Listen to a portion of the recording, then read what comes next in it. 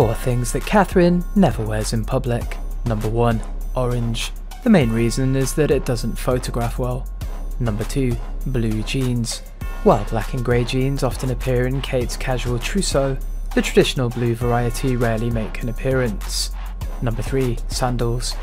Although there's no royal rule against wearing sandals, Kate has never been photographed in flat sandals. And number 4. Sequins. She's only worn head to toe sequins on a mere handful of occasions during her decade of public life.